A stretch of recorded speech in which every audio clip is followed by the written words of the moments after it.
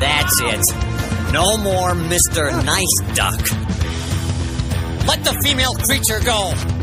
Every duck's got his limit, and you scum have pushed me over the line. Jimmy, do you like to see what I see? A talking duck? Yeah, that's. Uh, I've been doing too much toot. Shoot! Fly away! no one laughs at a master of quack fu. Welcome, everyone. This is episode 39 of the Comics in Motion podcast. I am Chris Phelps, as always, and my co host and good friend is Mr. Dave Horrocks. All right, Chris. Wow, Dave. Sorry, I thought I'd throw you off your game a little bit straight off the bat. There, yeah, just a little bit. Hi, guys. Hi, Chris. Welcome to the Comics in Motion podcast. What we like to do here is we like to review media like movies, TV shows, and games that are based on comic books. Myself, I'll be reviewing the media mainly from the perspective of a long-time comic book reader, and my co-host Chris will be reviewing mainly from that media perspective, and we'll walk through our given choice of the week and give our thoughts on it.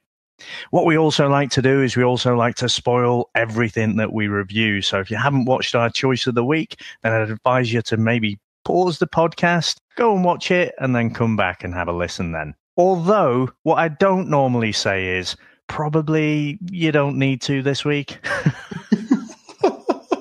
but you have to kind of if you don't don't mind being spoiled and you haven't seen this, probably listen to the podcast first as a health warning, quite honestly. So yeah, and before we review it, I would definitely don't spoil the health. Just listen to the podcast. That's all you need because it's at this point I'm thinking I wish I'd just listened to a podcast. so Chris, just a bit of news from this week then, and a potential Avengers 4 spoiler. Yeah. But so uh, if you want to fast forward maybe a couple of minutes, if you don't want to hear this, it's not really a spoiler. It's a bit of speculation, but Chris Evans, we kind of knew he was finishing up with the with the whole Marvel franchise, but he's kind of officially come out now and said, you know, he's loved his time uh, playing this role, but you know, it's it's now at an end. So it may mean that he just killed off. It may mean he walks off into the sunset. But um, I mean, how how do you feel about that? How do you think he's done as a as the Captain America, Steve Rogers? I like him to be honest, Dave. I saw that myself on Twitter yesterday, saying like it's been eight great years and thanks everybody. I think he's good. I think he's good. And and to be fair, having watched Infinity War again, I know the four moment when he comes down and takes everyone out at Wakanda, you know, like all the, all the sort of henchmen and stuff of Thanos. But that, that moment when Captain America comes and saves Vision as well, he's really good in Scotland. That's a really good yeah. moment. That you know, with the music and everything, and I've I've appreciated that a bit over the last few weeks. So no, I like him. I do like it. I love the scene in the lift as well when he's uh, fighting with everyone in in Winter Soldier. Winter Soldier, yeah, yeah, that's great. Yeah. Well, so he knows it's going to kick off. But no, I think he's good. I think he's good, and I think it could be a curveball, Dave, because we've had this. They don't tweet these things out for nothing. So, you know, the speculation is the internet, the you know, spoilers again, guys, that they, all the original Avengers survive to start this film, as we know, and then they're the ones that die at the end to sacrifice, don't they, for the next load? So, we'll see, we'll see. But yeah, I'm happy with that. Yeah, I, th- I, think I'm sure I've mentioned it in the past in the comics. There's a couple of candidates who could pick up that Captain America mantle in the in the MCU. So one is Bucky Barnes, so the Winter Soldier, and the other one is Sam Wilson, so the Falcon. So both of those guys had picked up and, and been Captain America in the comics. So so they could go that direction, but but let's see. I I agree. I think he's done a great job, and and you know he is he does my head in. He's such a tasty dish of a bloke, isn't he? You know, he's got everything. Um, but he's a brilliant actor as well. You know, in the different roles in the other movies that he's done, I, I always think he puts in a, a, great performance. And when it was first announced that there was going to be a Captain America movie, I was utterly unenthused about it. But honestly, he's, he's one of my favorite characters in the MCU today. Yeah, no, good stuff, Dave. You got anything else for us, Dave, news wise? Yeah, so we've got the Daredevil uh, Series 3 trailer, so I'm pretty excited about that. We've got, uh, this is going to be back to the Kingpin and Daredevil again, so a bit more like uh, series one. You know, in series two, we had a lot of the Punisher, didn't we? But uh, we're going to have Vincent D'Onofrio. I think he's going to come back bigger and badder, and he's really going to break Daredevil down. And uh, yeah, I'm pretty excited about that one. No, I, I must admit as well in the bits I've seen, he's actually got the famous white jacket on as well, Dave, which is, which yep. is a, with the old cravat job. So he's definitely going full kingpin on this one. So I, I love him. I absolutely love Kingpin. I think he's he's such a good actor as well. Um, I, am really looking forward to it. As you know, I absolutely love Daredevil, so I'm all over this when it comes out. Definitely. Yeah. And the last thing, just to mention, so the Harley Quinn animated series trailer came out this week, and it was quite amusing. They poke a little bit of fun at Deadpool, and so there, there's a little bit of tit for tat there. but that that looks like you know it's it's animated, but it might be a little bit more adult focused. Um, but certainly, uh, I'm sure that will be popular. Uh, I think of the two big publishers, you know, you basically got Deadpool across on the on the um, Marvel side and Harley Quinn on the DC side. They they just seem to be in the last decade the most popular characters, you know, and they they're just cash cows basically. So so yeah, I, look kind of looking forward to that one. I know I, will have to vet it first to see if it really is a bit more adult. If it's not, I mean, my girls will just be well up for that. They they love the Harley Quinn character. They just can't, unfortunately, watch most of what she's in. but we can, Dave. yeah, yeah, yeah. So um, I believe you've got a few reviews, Dave. Yeah, so we haven't read out some iTunes reviews for a for a few weeks, and just so so people know, so we we were discussing that we don't actually know because obviously you get these things through in iTunes, which is absolutely brilliant. So if you do like the show, please, I, would invite you to just go across, head across to iTunes and drop us a five star review. That's absolutely fantastic. But in the last few episodes, I mean, we haven't read them out, and so I just wanted to get back. But what we don't know is how people actually sound. So, um, Chris, do you want to have a go at, at reading out a review and, and uh, in an in an accent that you think it might sound like? Of course. Now, the first review, Dave, is from, uh, is titled Brilliant, and it's from Mum and Stacey, which is uh, in brackets, which is from Rough Giraffe. So we can't thank them enough for their uh, fantastic review. And it goes a little something like this if a comic has become a film or game, then these guys will cover it. They know what they're talking about without excluding non comic fans and must listen for comic fans. And that's a fantastic review, ladies. Thank you very much. Dave, what about yourself? Nailed it. Sounds like Monty Python when the people walk He's a very, He's a very naughty boy. boy. He's not the Messiah.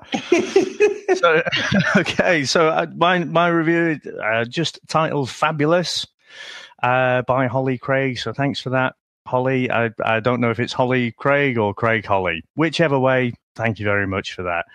And this says, "Keep up the good work, loving it." they just deduce where, where. How do you know they're from Wales, Dave? I'm assuming it's Craig Holly. So I could have gone with a Buddy Holly type of thing, but we're, we will we'll decide they're gonna be Welsh. This is going to be a great segment, Dave. We actually need loads of reviews. We've got quite a few. Actually, looking at the reviews, we've got a heck of a lot, haven't we? yeah, we're going to get through them. So we'll we'll have to make sure we don't. Uh, obviously, everyone who takes the time out, which we really appreciate, you know, has a unique voice. So we'll try and not to do the same voice twice. Yeah, exactly. Yeah, I, am pretty sure I will not do that voice twice, Dave. Thank so, as only a friend would tell me. Yes. Now, Dave, this week we're going and do one of the 80s films that has eluded me my whole 39 years on this planet, um, and it's Howard the Duck. And obviously, I believe you've got some comic background on this masterpiece. I have. So, but just drawing back the curtain a little bit. So we discussed, you know, shall we do something a bit retro and a bit rubbish? And I have to say, nailed it. but in terms of the comic backgrounds, Howard the Duck first appeared in Adventure into Fear, issue number 19, back in 1973. And he was created by writer Steve Gerber, and, and the artist was Val Mayerik. Now, it was really Steve Gerber, it was, it was really his um, brainchild, but but Val gets a, a co credit on that as well. Now he appeared really in, as part of the horror comics, um, quite a lot in Man Thing, and basically he became more and more popular with the fans, and he basically got his own comic, Howard the Duck number one, um, a little bit after that. Now in 1978, Steve Gerber and Marvel clashed quite a lot over creative control of that character, and it was one of the first cases where you really had that. So we, ha- we had more and more of that through the years, but this was one of the first. And basically, it ended up with Marvel taking Gerber off the book. So Gerber in 1980, he basically filed for copyright infringement. I think, I don't want to trip trip over your bit, but I think with a whiff of you know the fact that there was a film coming along and potentially a lot of money, so that that might have uh, had something to do with the timing. But there's no doubt that Steve Gerber felt a lot of uh, love, you know, felt like it was his character. Now, in the end, he, he had to agree with the courts that basically he'd created Howard the Duck as part of uh, work for hire. So you hear this term a lot. So, and it's been a very contentious issue. So people like Jack Kirby as well, you know, has basically created most of the Marvel universe, but you know, all the characters are owned by Marvel. They're not owned by the creators, or, or they weren't back at that time, and they they had this term work for hire. It's like, well, we hired you, and whatever you create, we own. So around this time, you know, Gerber was quite annoyed by this and, and actually worked with Jack Kirby to create this character uh, sort of based on Howard called Destroyer Duck. And in and around that time, just to add insult to injury, so Disney were also getting involved as well because of the similarities with Donald Duck. And so, you know, they were going to file for a lawsuit as well and wanted all kinds of changes to be made to the character. So it ended up with Howard wearing some trousers. So, bit of a weird one, isn't it? Disney, you know, we, we want our uh, duck to have no trousers. yeah. Yours can wear trousers. Um, but also just the way the character looked, you know, making his eyes a bit smaller, a bit close together, and things like that. So these were all things Disney were suggesting to make sure that people wouldn't get confused between Howard and Donald. Now, again, uh, obviously Gerber was very, you know, uh, privately annoyed by all of this. Now, in 1996, so years and years after, so way after this movie was created, Gerber pulled an absolute masterstroke as far as I'm concerned. So he was still obviously writing, he was in and around the industry, he did work for Marvel, worked for other companies. And he convinced Marvel to do like an unofficial crossover with a couple of books that he was he was writing them both. So the book that Marvel was doing was uh, Spider-Man Team Up, and Image were doing a book which was Savage Dragon and Destroyer Duck. So Marvel had all editorial control over what was happening, obviously, in the Spider Man book, but they had no control over what was happening in the image book. And the way he wrote the story, basically, they ended up, uh, they rescue Howard and Beverly, and then they send back a clone of Howard back with Spider Man. so basically, at the end of this story, the the clone of Howard, the cheap imitation, if you like, goes back to the Marvel universe, and the real Howard stays in the image book. And I just thought, what a brilliant way to stick it to the man. Yeah, yeah. So uh, again, it's a little bit of a convoluted backstory, and and again, he's probably, you know, he's very much a character from the time, from the seventies. You know, all the stories fairly fairly satirical, and and people, you know, probably wondering now, you know, if they're just being exposed to the character now, probably wonder what the hell he's all about. But uh, but no, quite quite an interesting one.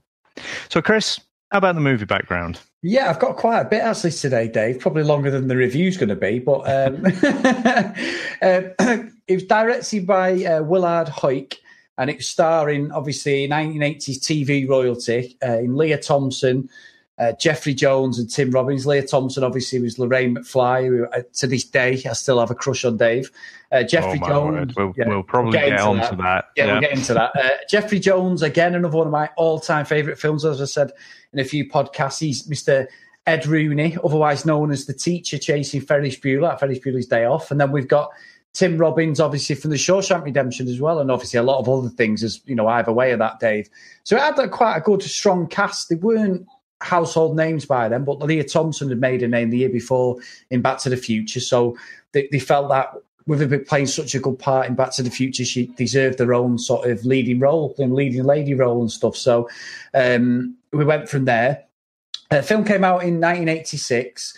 It was originally going to be an animated film, but Marvel decided they wanted a live action uh, film, and George Lucas is the executive producer. Now, George Lucas has to resign from Lucasfilm to come and produce this film and make other films as well after it. Um, and actually, he was the one who suggested a live action film using his special effects, you know, obviously from the Star Wars franchise and stuff, which mm-hmm. there is a slight nod when the two moons are visible, which is on um, Howard's like world. It's supposed to signify Tatooine out of Star Wars as well at certain angle and stuff at the start. You know, when he gets transported to uh, Earth. And to be right, fair, right. I didn't, I didn't see that. I've just seen that through the um, research. Now, the way it was shot, they used a, a, um, a technique called ultralight sequence, which was that hard to shoot that Tim Robbins and Ed Gale. Ed Gale was the guy who played uh, for most of the time. He played Howard the Duck, um, and they had to fly the actual plane in that scene. You know, around the uh, when they were flying around and stuff. Mm-hmm. They had to actually simulate that, and they were flying flying it because they couldn't do it any other way with special effects, um, which I found a bit weird. Um, especially with George Lucas, but obviously George Lucas uh, to this day still acknowledges that this film wasn't as bad as what I'll get to in a minute as as what um, it came out by. And, and, to be fair, it's a bit like what happened with Man of Steel last week, Dave, where it was a push comes to shove and they had to get something out. And this is why this film sort of was born, really. They were under sort of co- contract by the studio to actually get something out. So it's quite um interesting sort of deadline they were working to on this one. Now, uh, Lucasfilm built all the animatronics for the, for the um, puppets, you know, for the ducks and everything. Um, now, they actually got awards for the animatronics in this film.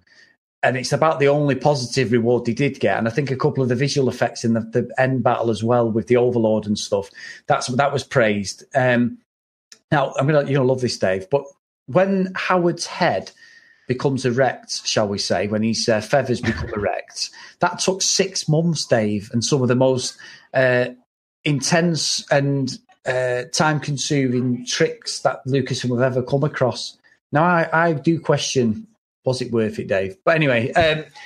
they were working under a timeline, but they had six months to work on this yeah, yeah. throwaway thing, and yeah. and there's plenty of throwaway in this. So you know what?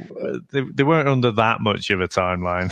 no, it's awful. I mean, the the voice of Howard was changed after they'd finished filming it. It was Ed Gale, but because of the suit he had on, nobody could understand what he said. And what they had to do was, and he couldn't pick it up on the microphones or anything when they were in post production.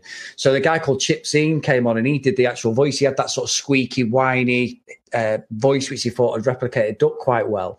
But one of the lead puppeteers, Tim Rose, he had to stand at the side while all the scenes were being shot and he had to actually speak the lines. So the actors had an actual cue and mm-hmm. a dial, you know, something to play off the character because they said Gale situation was just totally.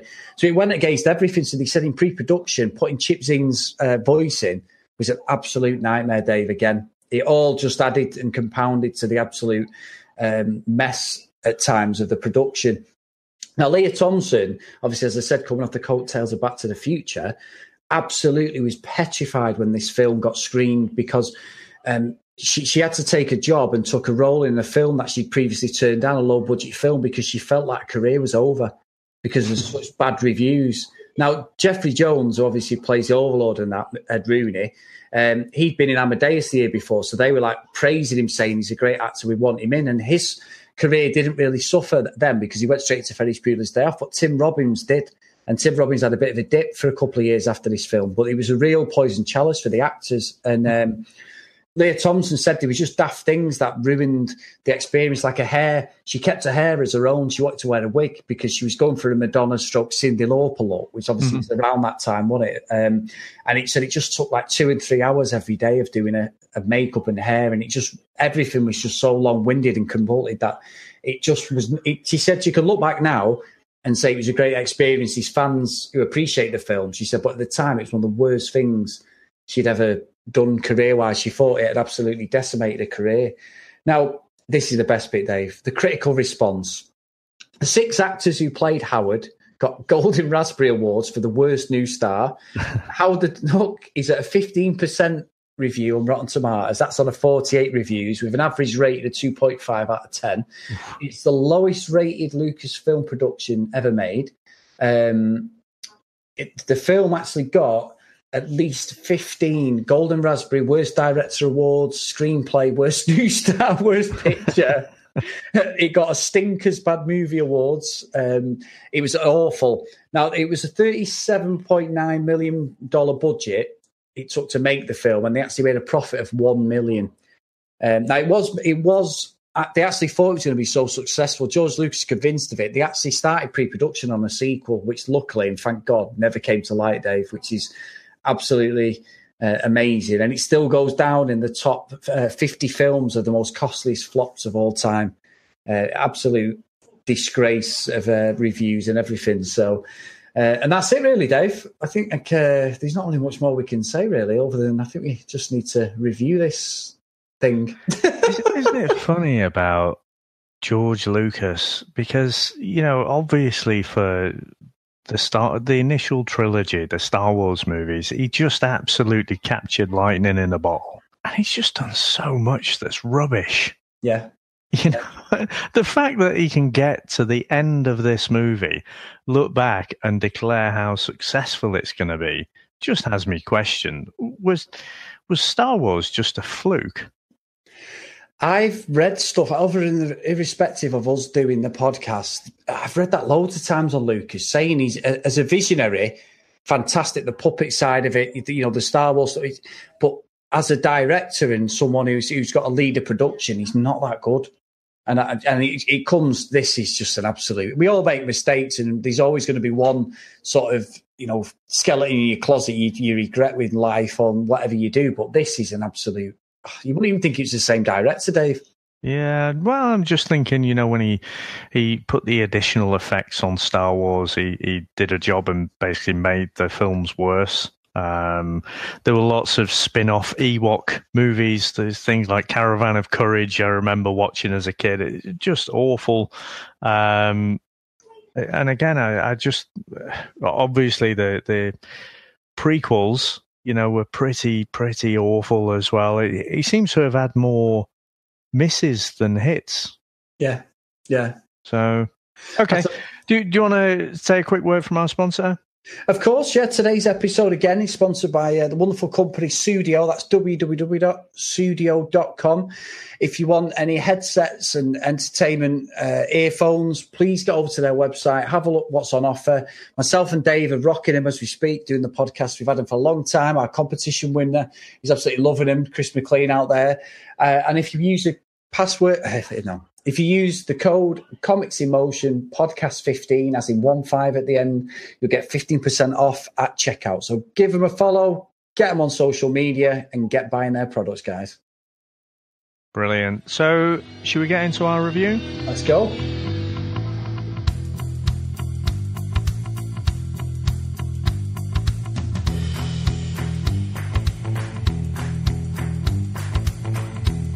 So, uh, interestingly, we start off, and one of the things when when Gerber got kicked off the book, uh, one of the things that happened after that was, you know, they started drawing Duck World, uh, which Gerber really wasn't happy about, and uh, but that's essentially where we start, isn't it? You know, and and there's yeah. lots. Uh, again, when you mention about the movie and and being under pressure for the for the timing of it they spend so much and uh, you know they've created so many props to give us this uh, little Duck World. It's basically a, it's like our world. So you got all the posters and everything, um, but it's just all plays on on the duck uh, uh words. and I must admit, Dave, at this point, five minutes in, thinking, what the duck is going on? yep, yep. Well, going into this movie, I was very excited. I was spitting, I was spitting feathers myself, Dave. Yeah. day if you want. but I, again, I was trying to think. I, I did see this at, at the cinema actually when uh, when I was a kid, and I I didn't particularly enjoy it then. But uh, I must admit, on watching it now on this rewatch, it got to this point, and it was more of a just oh god, you know, yeah, all the little references and silly jokes. I thought, did I find that funny? at one point. Maybe maybe I did, but, but I'm not sure. But yeah, so it, it's it gives us uh, a window into the into Duck World, and I tell you what jumped out at me. This is a PG film. There are a lot of sexual references in this. Oh yes. And so, you know, he's got, he's just chilling out. He's got a beer uh, at his flat, and you know, there's he's got an answer machine message from his duck girlfriend, and she's talking about running her fingers through his feathers, and you know that he should get right over there, and and then so he he sits down with his beer and he, he starts thumbing through a copy of Play Duck, and I'm thinking, hang about it, who who is this movie for? Yeah, yeah, uh, it, it was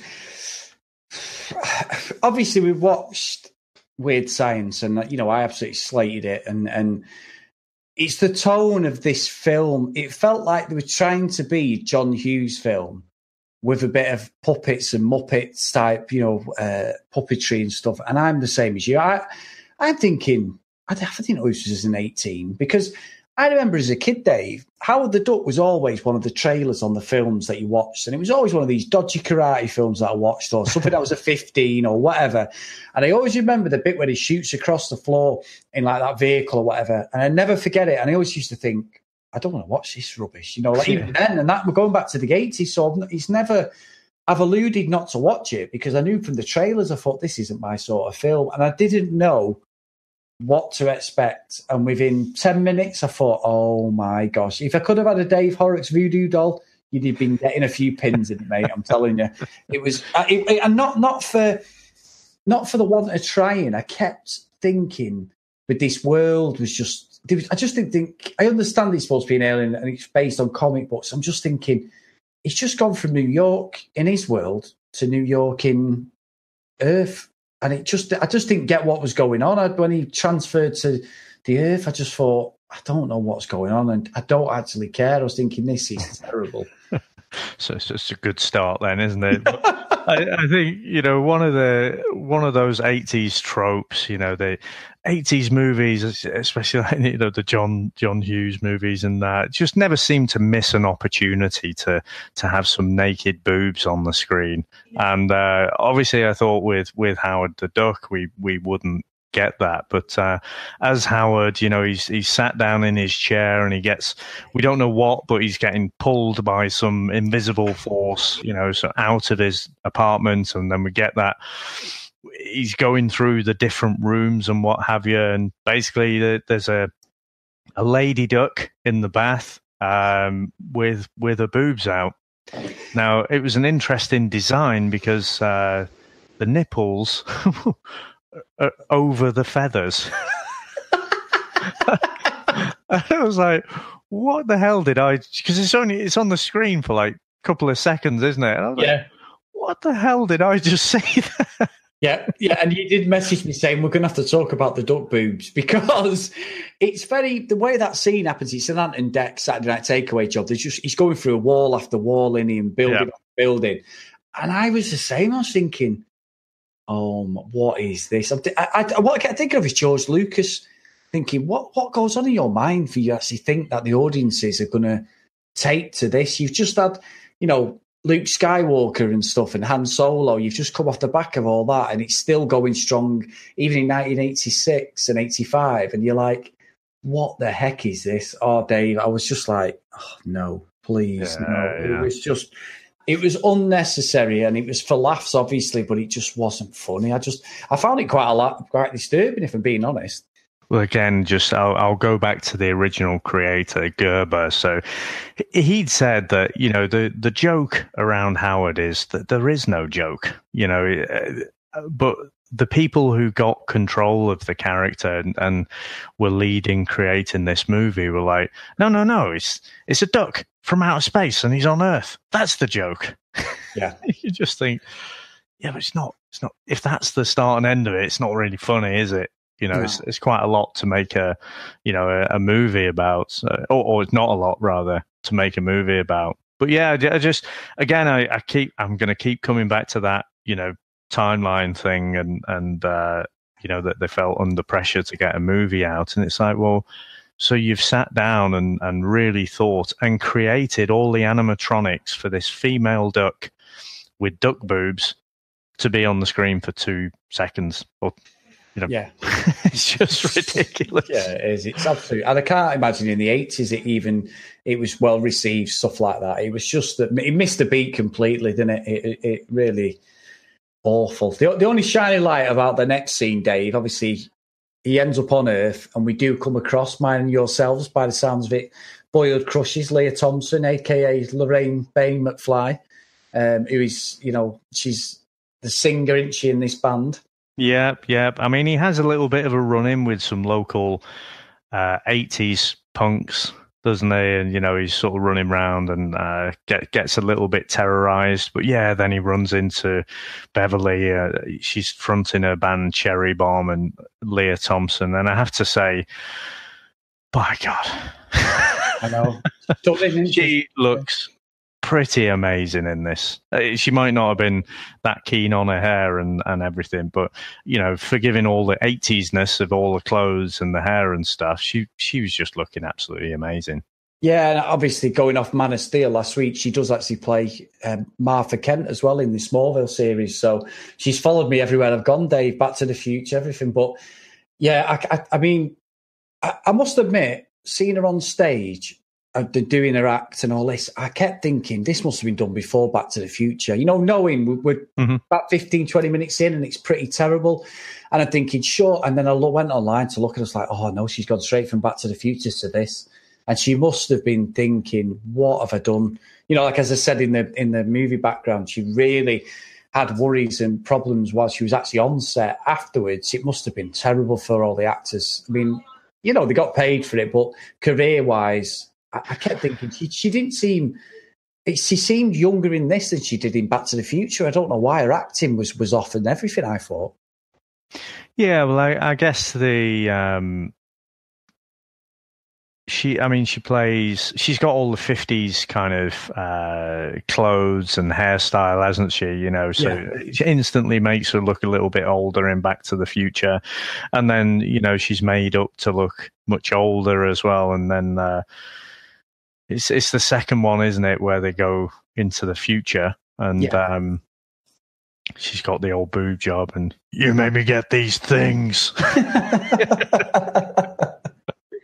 Which so Yeah. she doesn't look as good there, obviously, as as she looks here. But uh, but yeah, yeah. Um, all hail Lea Thompson, just absolutely gorgeous. She's the only thing that saves this film, if I'm being honest, and she's the only thing I'm looking forward to coming on the screen, Dave. Because uh, yeah, and it, uh, the thing is, it's set up. I just think it's a bit weak. I mean, the character of Howard is played by Ed Gale, but a lot of the scenes where he's got to run and he's got to move around, they had to use child actors. They were going to use dwarfs, but they decided to use child actors now because Ed Gale was slightly bigger. Now I don't know whether mm-hmm. he's he's five foot and he's supposed to be three foot one, is he, and stuff. They say, We don't, when the police are looking for him and that. Yeah, yeah. So obviously he, he does look in certain scenes. He he looks maybe just under five foot. So I understand that. But the karate scenes and the, the oh, it's absolutely I, I, not Yeah. karate, quack. martial art, quack fu.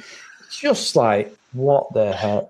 Yeah, I, I, it was just terrible, wasn't it? It was pretty poor. And, and she's obviously these guys are fan that we get introduced to him, and and and it's just like oh dear. me. Well, just... again, you know, old Lea Thompson's not very lucky, is she? And and you know, it, again, you watch back these '80s movies and you think, God, there's a lot of men who are quite rapey. Yeah, yeah, yeah, yeah, It's like you know, it's a bit over the top. So um, yeah, I thought that was all a bit much. Quite rapey. Yeah, they are, aren't they? The the two blokes, and that because that's that's basically why you know Howard jumps out of his little trash can and and declares that he's a master of quack fu. Quack fu, which is, I mean.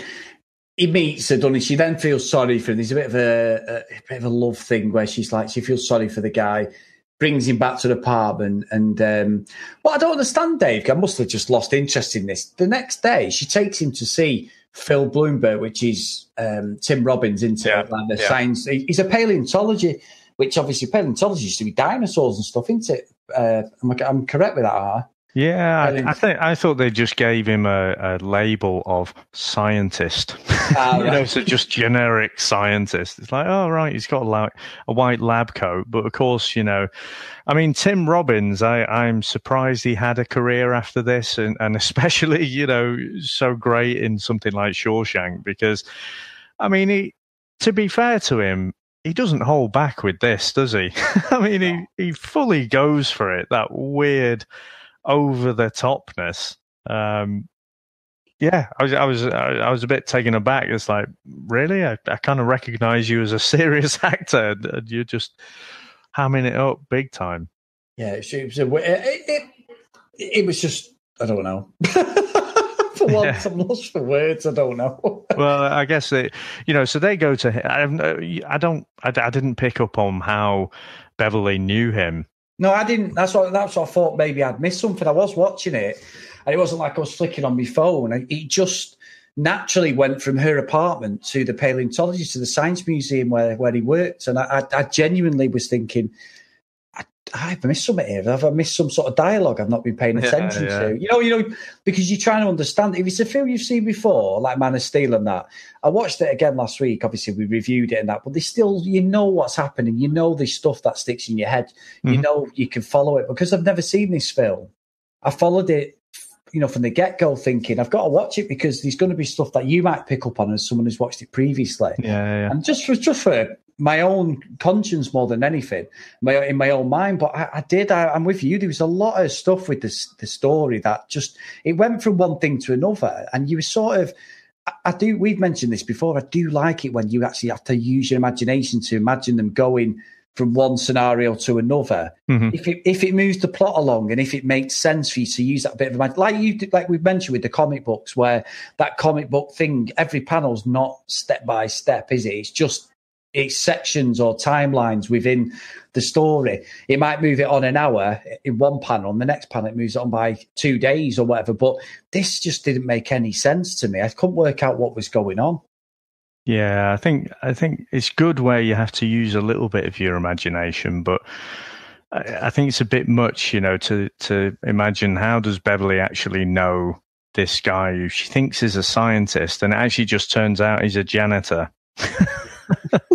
you know, so absolutely useless. And uh, obviously, her and Howard have a little bit of a falling out. You know, Howard thinks he's been led up the garden path there and, and quite annoyed. He just wants to get home. Again, they thought this generic scientist would be able to help him understand how he got there.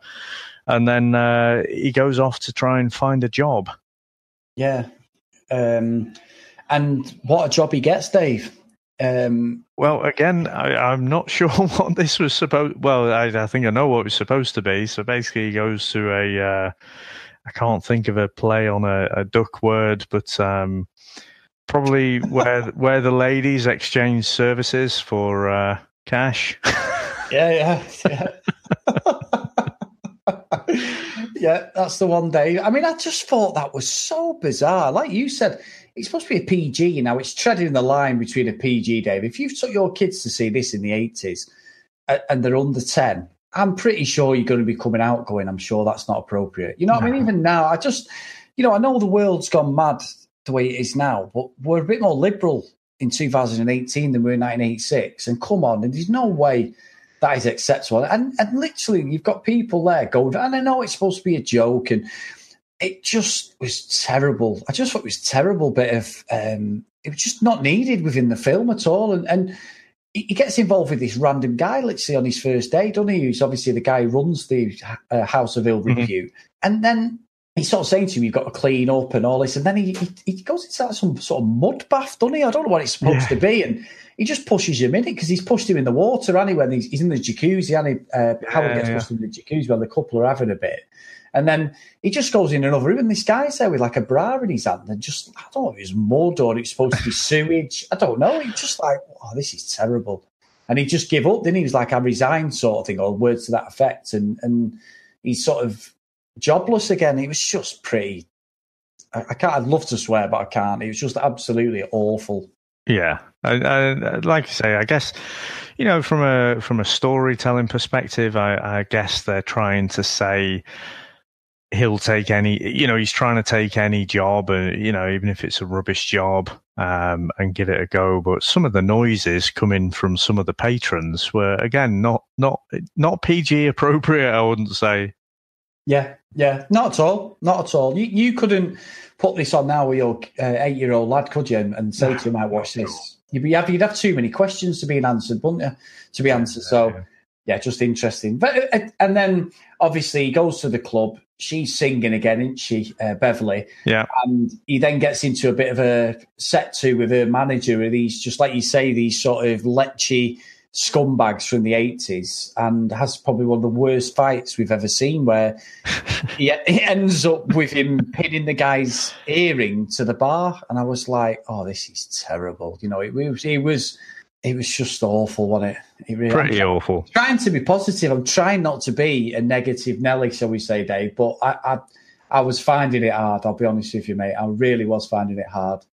So, I mean, just to take a, a brief aside there, I mean, again, the story is just weak, isn't it? Just, yeah. just everything about it, and, and, again, at this point, I had a look at the uh, at how long was left, and it, it was still ages to go. And I'm like, oh, you can't be kidding me.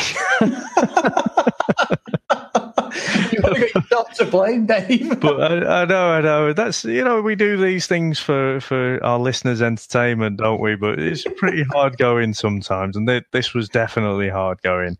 But um, what I would say is the facial expressions on that puppet on Howard are still pretty good. I think and and I think it holds up pretty well. Just those practical effects because they they'd never do that now, would they? They they no. just have a, a CGI character, uh, like like you know when he appeared in Guardians of the Galaxy um, hmm. at the end there. But I, I thought I thought he looked pretty good. Um, but again, that and Lea Thompson being in it are probably the two positive things in the in the whole movie. But you know, having a compare, it's not as if it was a really good, compelling story, and and the the effects just didn't really stand up to it. it it's just the story was awful and, and bland. But you know, so he, he gets them out because the the manager's been you know basically fleecing the band. You know, keep keeping all the cash and and so Howard gets them out of their contract you know so apparently it just it just takes a fight in a bar and just you know say release them from the contract okay and that's it.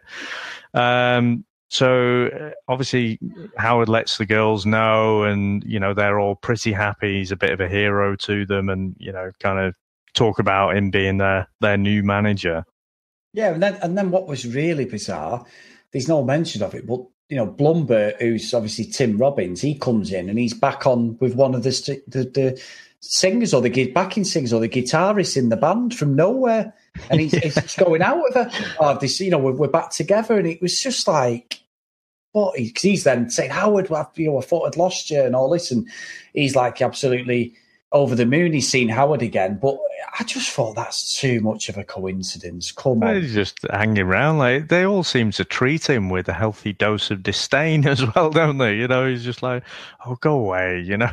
it's, it's bizarre, and like you say, just so over the top. I mean, you know, Matt Frewer from Generation X has got nothing on Tim Robbins here. I think. No, no, he's playing the absolute geek in a completely to the to the max, hundred percent, Dave. Yeah, and, and obviously he then introduces Howard and, and Beverly to like his two colleagues. We get introduced then to uh, Ed Rooney. Uh, you know, we can't we can't skip over the suggested relationship.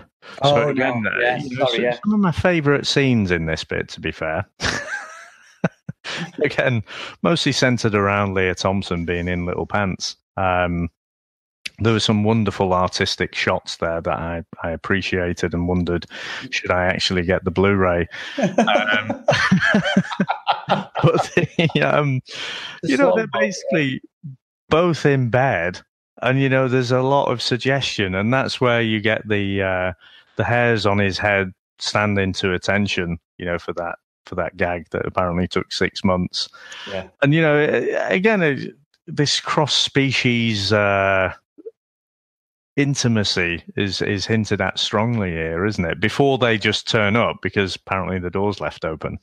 well, I, th- I, think I think in the wider scale of things, Dave, as well, is if it was let's let's think of it logically. If it was a man kissing a female duck, it'd be you'd be going mad. There'd be big uproar, wouldn't they? But for some reason, women are just expected to kiss these like animal men, creatures, aren't they? In these things, you know, Beauty and the Beast, things like that. I know they're all fantasy. but You just sort of thinking. Now, what you said before about there being child actors in this suit, I hope they were using a dwarf or an animatronic puppet for this bit.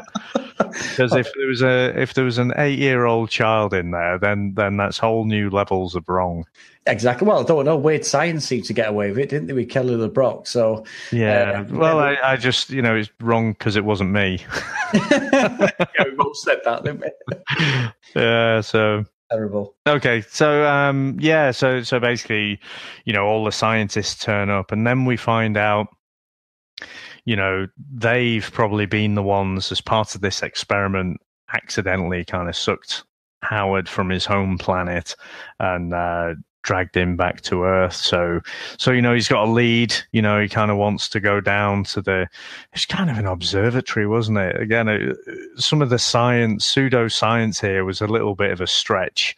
You know, yeah. Uh, they were trying to basically just had a big telescope, and and somehow that that manages to pull things into our into our planet. Well, well, they go to the laboratory, don't they? And then you've got the machine malfunctions, don't it? There's you know, they think they can transport Howard back, and then it breaks, doesn't it, basically, and malfunctions, and we end up with um, Walter. I'm going to call him Walter Jennings, which is you know, yeah, yeah, yeah. Ed Rooney. He he ends up becoming possessed with the as the Dark Overlord of the universe, doesn't he? And we see a bit of powers used and a bit of 1980 special effects, which I didn't have a problem with because the era. But I think, like you said, because the story's so weak, you're actually picking holes in everything, aren't you? You're like, oh, this is woeful. Well, when they get to, I, I was trying to think because they're at his apartment, and I was trying to think how because because they obviously go.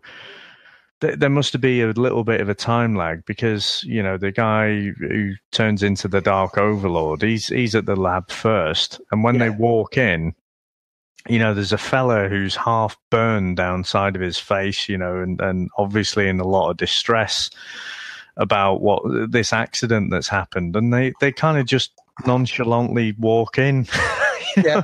There's all hell's breaking loose. And it's like, oh, come on, really? You're not just going to stroll in there. You, you know, you're going to at least oh, acknowledge yeah. the fact that everyone's going crazy, aren't they? Right. Yeah, sorry, yeah, it's like, strolling in like nothing's happened. It's like what's what's going on here? But yeah, sorry, I forgot about that. Yeah, yeah, yeah. So um, so Jennings, he, he um, he's he's obviously just been possessed, and again, he's the jokes played a little bit too much where he's saying all this weird stuff and uh, you know they're in the car driving off and they end up in this diner don't they and you know he's he keeps turning into this keeps coming out with stuff that this Dark Overlord's saying, and and they just say, "Oh, I, I don't understand what you're saying." It's like, come on, they they just played up on that a little bit too much yeah. for me. His voice was terrible as well, dead whiny, wasn't it? Yeah, it was really really poor. And then they get the thing, don't they, where he's he's they, they get into a, um, a, truck stop, don't they? Go yeah. something to eat, and Howard gets into a bit of a, a battle, and the, the chef you know, he's basically going to kill Howard and all that. And the Overlord just starts basically, as I should say, Dave, as always, taking names. Yeah. Um, I mean, is that what they do in these? Uh, in Cleveland is is you know if they have something that's a bit odd, they just all lynch them and, and strap them down and start seasoning them and, and, ready to stick them in the cooker. I mean, it, it was a little bit, it was a little bit Muppets, wasn't it? You know, it was just yeah. just ridiculous. You know, it's supposed to be kind of all right. It's a duck on Earth, but it's supposed to be a little bit grounded, and and I just thought that was just nonsense the way that all played. Yeah, it was it was pretty poor, and obviously the Overlord gets starts driving a truck, doesn't he? And he's ramming a roadblock, and he starts he, he starts taking coppers out, doesn't he, and everything. But every time you pan to him, his hair and face is getting worse and worse. He's turning into something like the Walking Dead stroke with filler video, isn't he? You know, every yeah, time. Yeah. And his voice is getting dead white.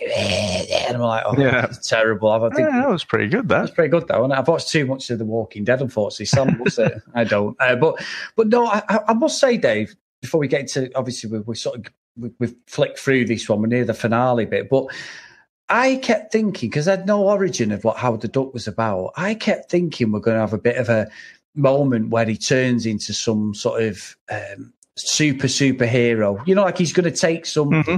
potion or he's going to take something, knowing the origins of where the character briefly is from. And obviously, I, I had no idea what the film's about.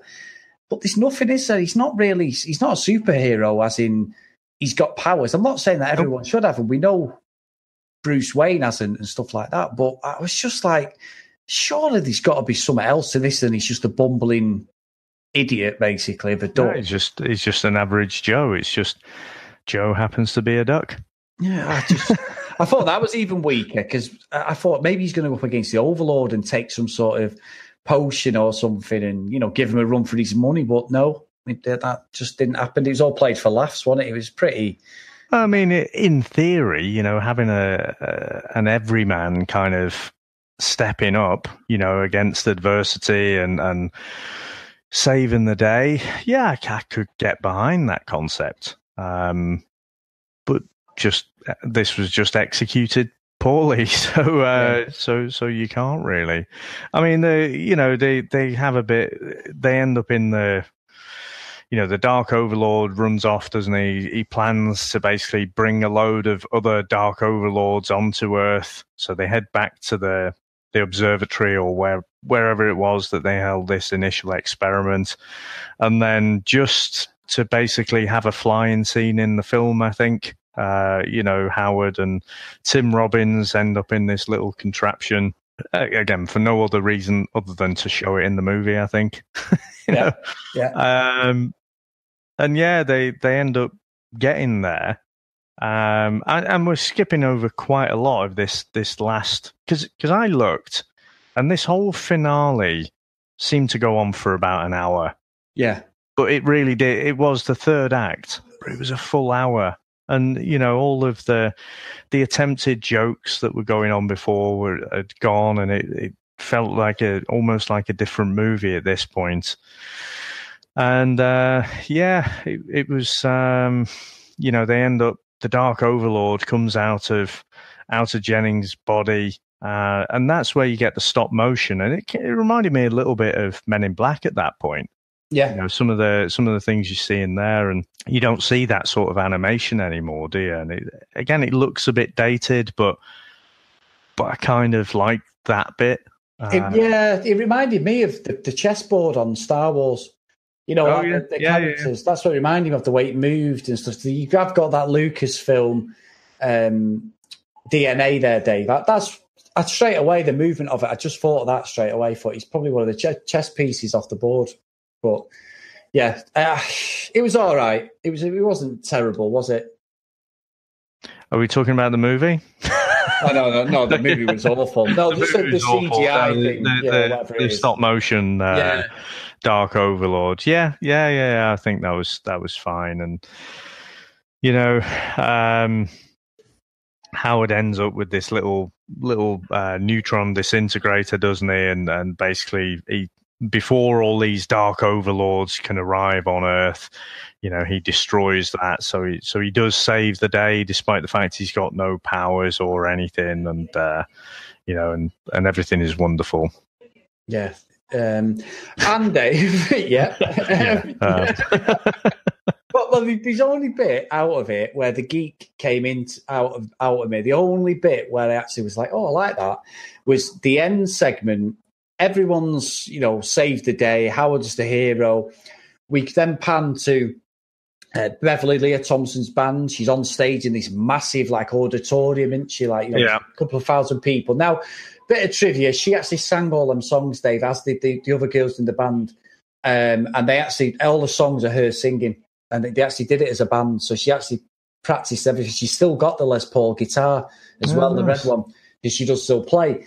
Did you not notice when Howard sort of stumbles and falls onto the stage, the clothes he was wearing? uh, it was very Back to the Future, wasn't yeah, it? Martin McFly. And then he Yeah. even grabbed grabbed the guitar with his teeth. So he definite absolute parody of Back to the Future, a bit of a nod to what she'd been in the year before and Martin McFly. The clothes, Enchantment Under the Sea dance outfit he had on from the fifties, exactly the same, Dave. And I don't even have to look that up. I knew so. That's the only time the geek in me came out. yeah, yeah. And and I have to say, I mean, I didn't know it was it was her doing the singing. Quite honestly, I kind of like that song. yeah, yeah, it wasn't it's bad. kind Actually, of was it? catchy. Yeah. But um, yeah, I mean, uh, obviously, in Howard's their manager, isn't he? So you know, uh, again, it's all happy at the end, and we get the the cool little catchy song. So uh, that that's essentially how it all wraps up. A last bit of trivia, Dave. Um, we know it as Howard the Duck even now, but in the UK and the Oz originally it was called Howard the Duck, a new breed of hero. I don't think that makes any difference at all, but I just thought I'd throw that one in there so my little trivia notes. That rings a bell, actually. Yeah, Ring- yeah. That does ring a bell. I wonder if it was on some of the earlier trailers or something back in the back in the day. And what's quite interesting, actually, one last little thing is for the role of Beverly, we got Lea Thompson, but we had Paula Abdul, Kim Basinger, uh, Jodie Benson, Sarah Jessica Parker, all auditioned for that role, and, and Lea Thompson got it. I bet they were all thinking after it came out, well, that was a bullet dodged. And I tell you who was going to play Tim Robbins' uh, character, Phil Blumber, it was Jay Leno as well. oh, my word. I know, exactly. But uh, yeah, what a film. Now, Dave, we might as well go for the review, eh? Yeah, yeah, got a good feeling about this one. Let's let's go for it. Yeah, I'm sure Han Solo said that.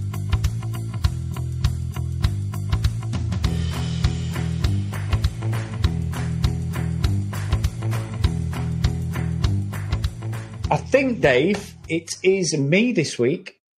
Okay. So he's going to be no surprise with this one. Here we go. So obviously, I've never seen the film. Like I say, alluded to it on the VHS he's had as kids. It was always on there as one of the adverts at the start. Genuinely knew it was going to be awful. I wasn't going to like it. I didn't check the review scores. I didn't check any of the Rotten Tomato stuff. I never do on any of the stuff that we review, Dave, till afterwards. Obviously, the stuff I know and, and I've seen, I know what to expect, but the stuff I've not seen that, you know, we suggested, like good old Generation X and stuff.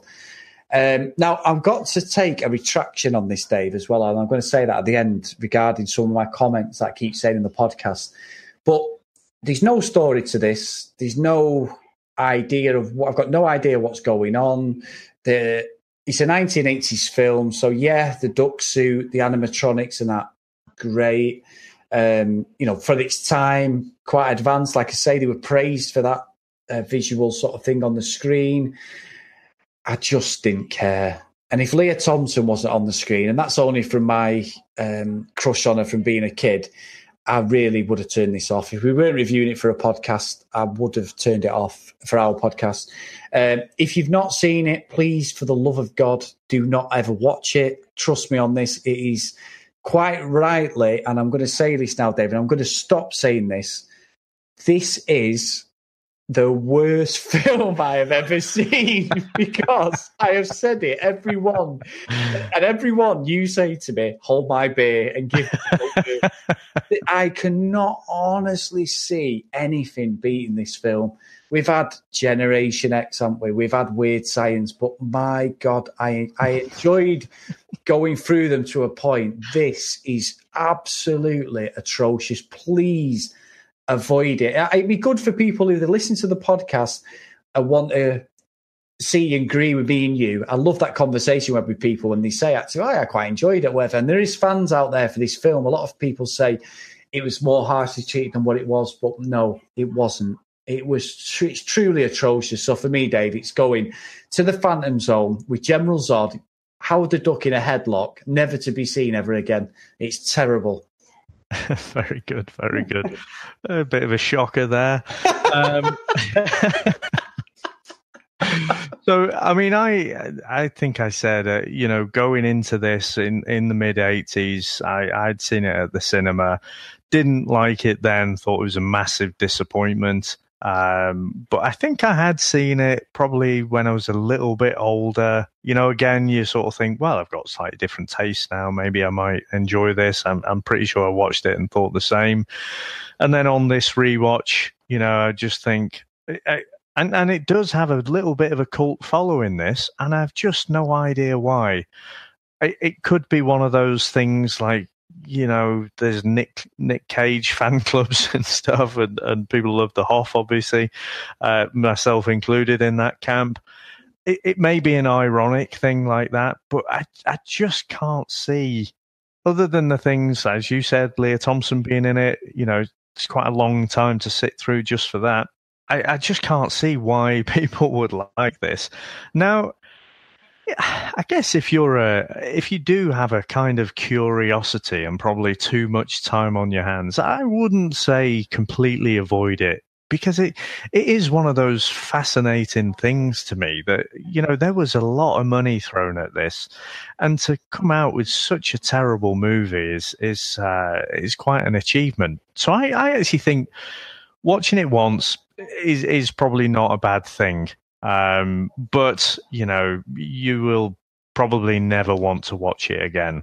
And uh, I, I include myself in that camp. I can't see that I would ever watch this again. Now, I, I, it was one of those going into this. I kind of thought, you know, I wonder if there's some bits that, like, you know, I'll show my kids, you know, just for, you know, like I say, I kind of remembered that the animatronics were pretty good and uh, but with all the adult themes in it, yeah, it's not it's not appropriate to show them. And then you know, so so for me, I'm never going to watch this again.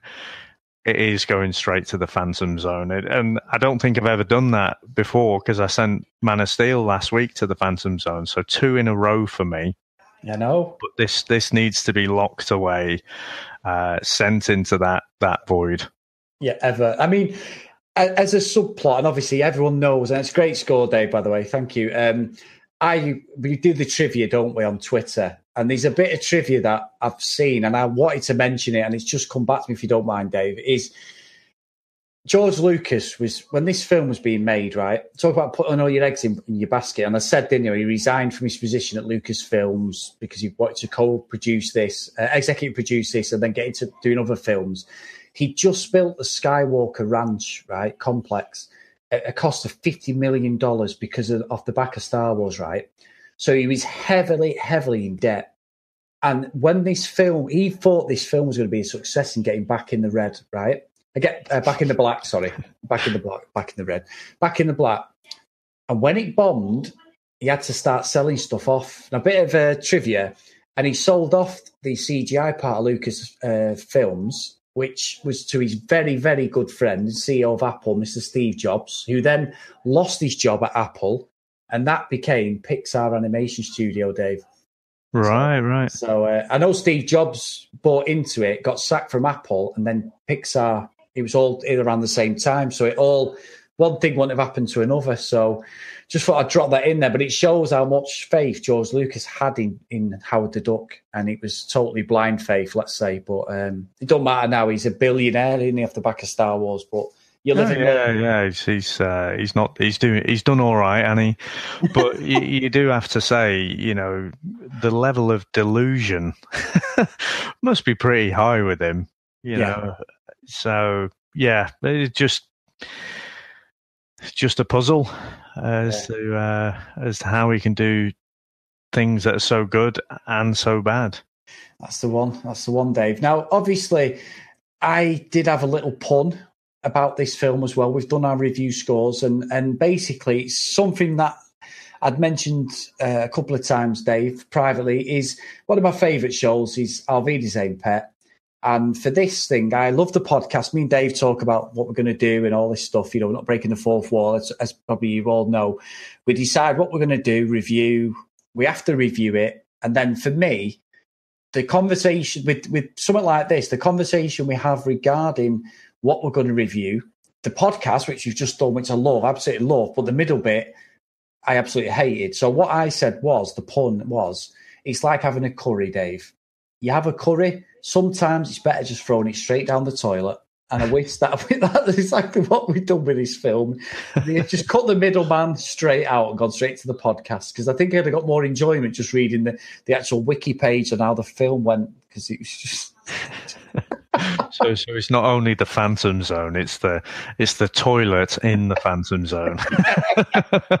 well, everyone's had the runs, yeah. yeah, yeah. Brilliant. So, Dave, before we go, just want to thank our sponsors again, Sudio. That's www.sudio.com. Get over there if you want a headset, headphones, uh, any entertainment products um, for listening to music, films, podcasts, obviously, especially the Comics in Motion podcast. If you use the uh, code Comics in Motion Podcast 15 at checkout, you get 15% off all orders. Dave, it's been an emotional journey today. What plugs have you got for us, mate? Yeah, so I'm going to plug the Grassroots Coach Cast. So that's where Ben and myself talk about youth soccer or youth football coaching.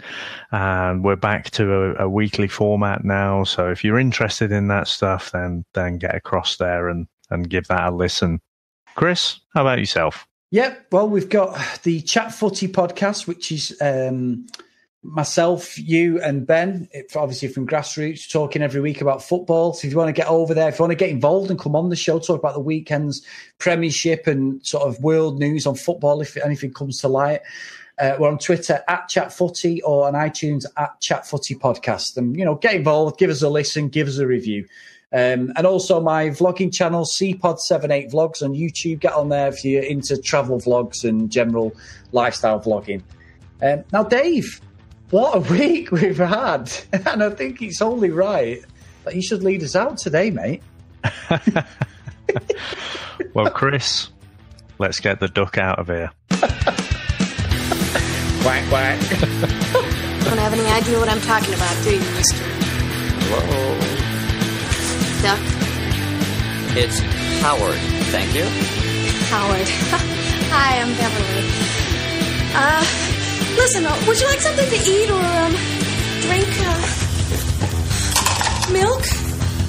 I could put it in a bowl. Oh, Dal, I don't drink out of bowls. You got a beer? Look! Up in the sky! It's a bird! It's a plane! No! It's a duck. Phil, you gotta help us. What are we gonna do? Nice ducky. Me, Phil. You, Howard. We be friends. Ugh.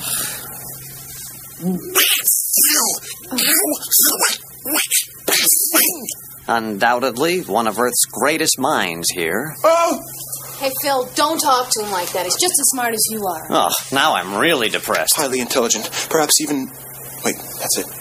We're about to see if subject has any abilities we don't have here on Earth. Any, shall we say, mm-hmm.